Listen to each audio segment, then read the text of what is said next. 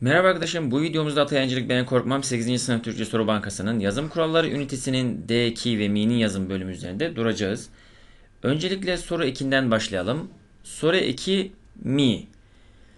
Cümlelere soru anlamı katan bu ek ayrı olarak yazılır ve kendisinden önceki kelimenin son ünlüsüne bağlı olarak ünlü uyumuna uyar. Sence bu teklifin kabul görür mü? Burada mi kendinden önceki sözcükten ayrı yazılmış ve ünlü uyumuna uymuştur. Mü şeklini almıştır. Soru ekinden sonra gelen ekler bu eke bitişik olarak yazılır. İşittiğim bu sesi siz de duyuyor musunuz? Mi burada kendinden önceki sözcükten ayrı, kendinden sonra gelen ekle bitişik yazılmıştır. Yine ünlü uyumuna uymuştur. Bu ek sorudan başka görevlerde kullanıldığında da ayrı yazılır. Bugün sıcak mı sıcak bir hava var. Mi burada pekiştirme anlamı katmış. Yine ayrı yazılmış. Mevsim yaza döndü mü buralar şenlenir. Burada zaman anlamı katmış. Yine ayrı yazılmış. Mi ile ilgili bilmemiz gereken şu. Mi kendinden önceki ve sonraki sözcüklerden ayrı yazılır. Kendinden sonra gelen ekle bitişik yazılır. Bunu bilsek yeterli olur bizim için.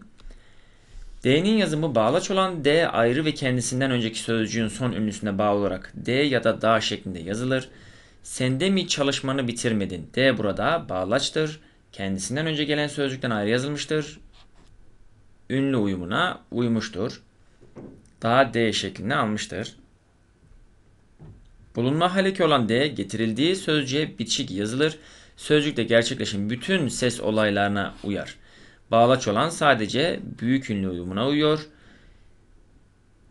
Diğerleri ise yani bulunma haleki olan D ise bütün ses olaylarına yani ünsüz benzeşmesi sık gördüğümüz bir ses olayı haleki olan D ile ilgili. Ya yerde ya ağaçta bulunur bu böcekler. Ağaç dağ olacakken gördüğümüz üzere ünsüz benzeşmesi oluşmuş ve ağaç taş şeklini almıştır. Bazen bu şekilde ağaç dağ diye yazılır ve yazım yanlışı sorulur. Kesinlikle ünsüz benzeşmesine daha doğrusu tüm ses olaylarına uymalıdır.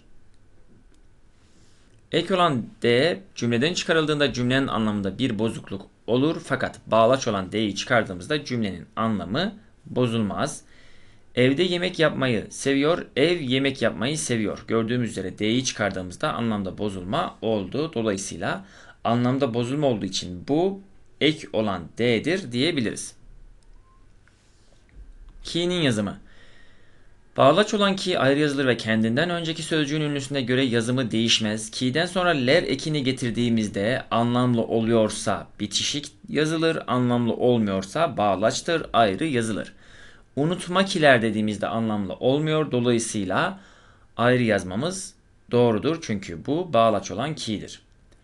Birkaç örnekte ki bağlacı kalıplaşmış olduğu için bitişik yazılır. Bunlar belki, çünkü, halbuki, madem ki, meğer ki, oysa ki, sanki, illaki sözcükleridir. Belkiler dediğimizde anlamlı olmuyor. Çünküler dediğimizde anlamlı olmuyor. Normalde ayrı yazılmalı fakat kalıplaşmış olduğu için bitişik yazılır.